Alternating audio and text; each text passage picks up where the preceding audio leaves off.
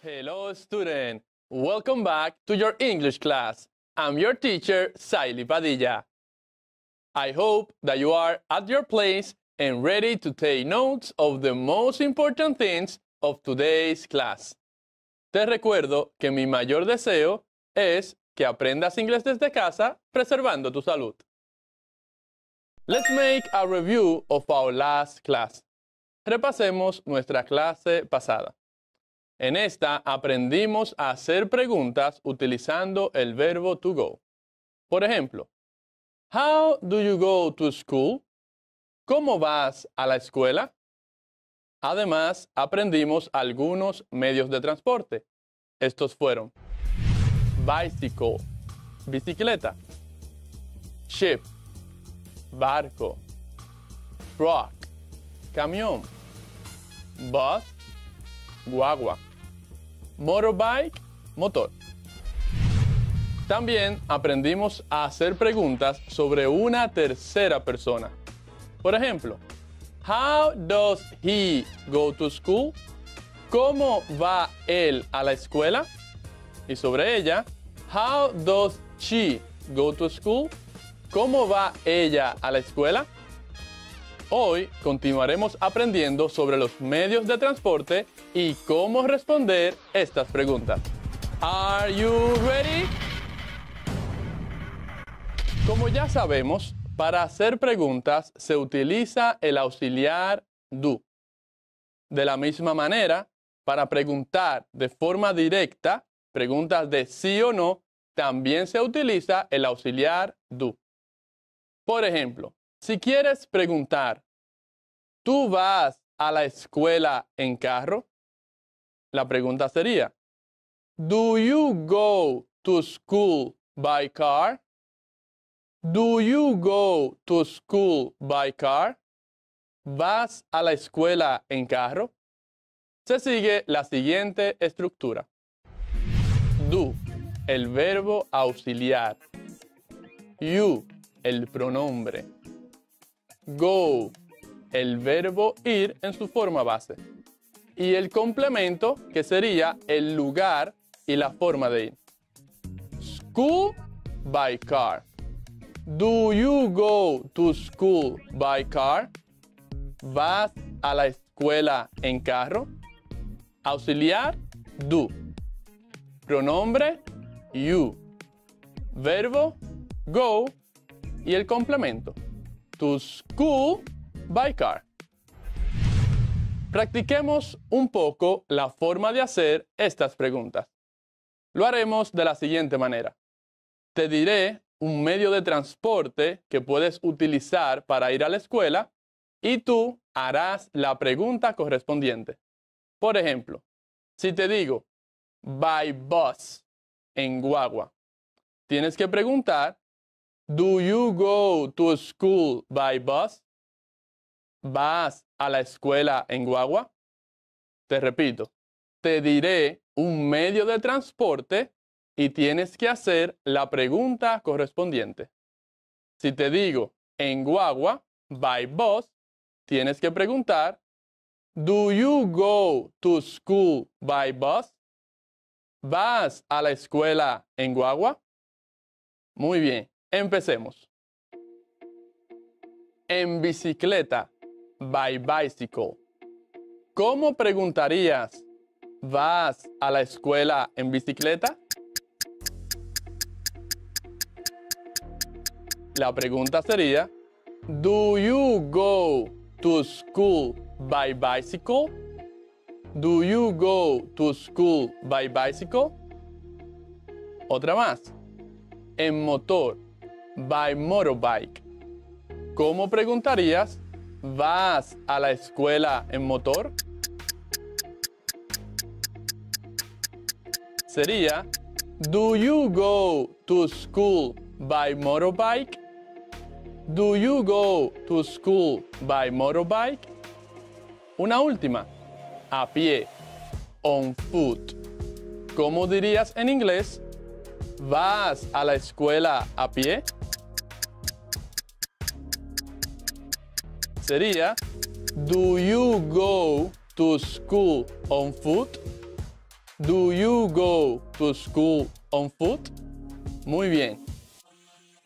Ahora practiquemos estas preguntas. Repite después de mí. Do you go to school by bike? Do you go to school by bike or by bicycle?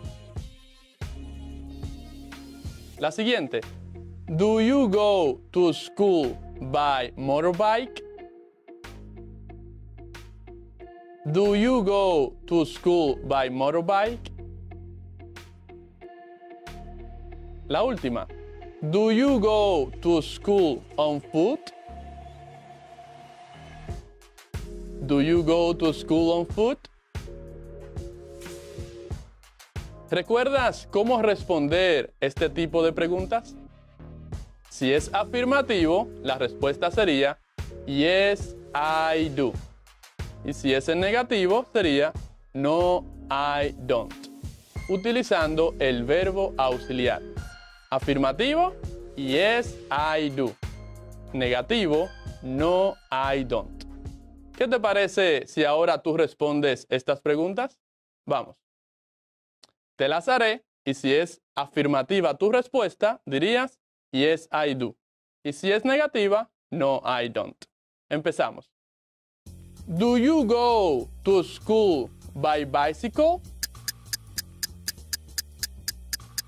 Sí, yes, I do. No, no, I don't. La siguiente.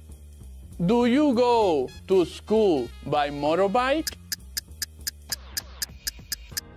Sí, yes, I do. No, no, I don't. La última. Do you go to school on foot? Sí, yes, I do. No, no, I don't. Así que ya sabes preguntar si una persona va a cierto lugar con algún medio de transporte. Además, que ya sabes cómo responder. Antes de aprender cómo responder sobre una tercera persona, me gustaría que aumentes tu vocabulario con las siguientes palabras. Pay attention. Palabras relacionadas con los medios de transporte.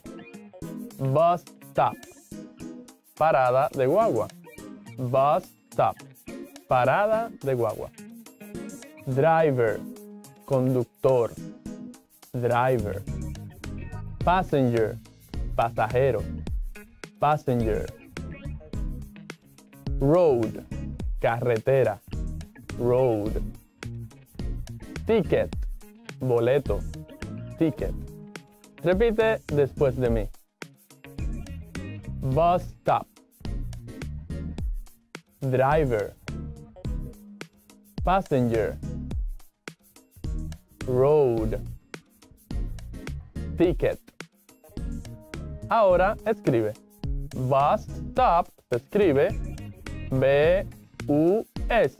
bus S T O P stop. Bus stop. Driver se escribe D R I V E R. Driver. Passenger se escribe P A S S E N G E R. Passenger. Road se escribe R O A D. Road. Y ticket se escribe T I C K E T. Ticket. Repite otra vez. Bus stop. Driver. Passenger. Road. Ticket. Estas son algunas palabras relacionadas con los medios de transporte. Ahora practiquemos cómo responder sobre una tercera persona.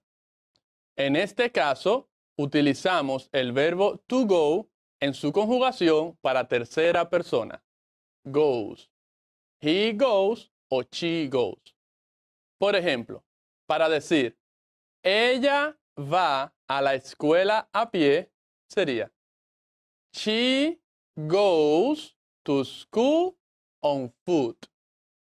She goes to school on foot. Pronombre she y el verbo go en tercera persona. Goes. She goes. Entonces, él va a la escuela a pie sería He goes to school on foot. He goes to school on foot. Practiquemos. ¿Cómo dirías en inglés? Él va a la escuela en bicicleta. Sería He goes to school by bicycle. He goes to school by bicycle. La segunda, ¿cómo dirías en inglés? Ella va a la escuela en guagua. Sería, she goes to school by bus. She goes to school by bus. Otro ejemplo. ¿Cómo dirías en inglés? José va a la escuela en motor. Sería José goes to school by motorbike. Ahora practiquemos estas oraciones. Repite después de mí. He goes to school by bicycle. He goes to school by bicycle. La siguiente. She goes to school by bus.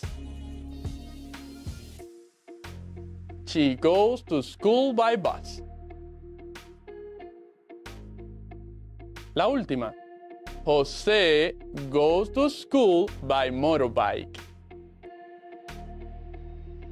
José goes to school by motorbike. Excellent. Ahora, ¿sabes cómo responder sobre una tercera persona? En este caso, también utilizamos el auxiliar does, porque está conjugado en tercera persona. Una respuesta afirmativa sería yes, he does para él y yes, she does para ella. En negativo sería no, he doesn't para él y no, she doesn't para ella. Repite después de mí. Yes, he does. Yes, she does. No, he doesn't. No, she doesn't. ¿Qué te parece si ahora respondes algunas preguntas relacionadas con la conversación que escuchaste al principio? Toma notas de las siguientes preguntas. Las vas a escribir en tu cuaderno, luego vas a escuchar de nuevo la conversación para que anotes las respuestas. Las preguntas son, Número uno. Does he go to school on foot? Does he go to school on foot? La segunda pregunta. Does she go to the mall on foot? Does she go to the mall on foot? Te las repito. La primera pregunta es, ¿Does he go to school on foot? ¿Va él a la escuela a pie? Y la otra pregunta, ¿Does she go to the mall on foot? ¿Va ella a la tienda a pie? Escucha otra vez la conversación y responde estas preguntas. Hello, Smiley. How are you? Hi, Honor. I'm fine. Thank you. And you? Very well, thanks. Just Mary, how do you go to school? I go to school by car. And you? I go to school on foot. Okay. And how do you go to the mall? I go to the mall by bus. Oh, me too. Okay, thank you. Goodbye. You're welcome. Bye. ¿Pudiste responder las preguntas? Confirmemos. La número uno. Does he go to school on foot? ¿Cuál es la respuesta? Yes, he does. Yes, he does. La segunda pregunta. Does she go to the mall on foot? ¿Cuál es la respuesta? No, she doesn't. No, she doesn't. Excelente. Ahora ya sabes responder sobre ti y sobre otra tercera persona la manera en que van a ciertos lugares. Y si te queda alguna duda, presta atención al repaso de la clase. What have we learned today? ¿Qué hemos aprendido hoy? Hoy aprendimos a hacer preguntas directas sobre la manera en que una persona va a cierto lugar. Por ejemplo, para preguntar, ¿tú vas a la escuela en carro?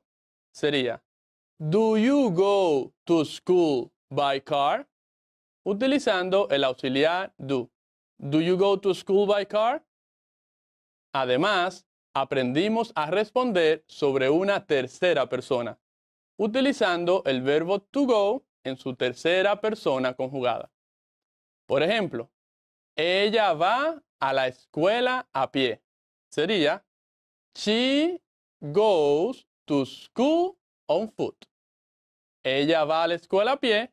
She goes to school on foot.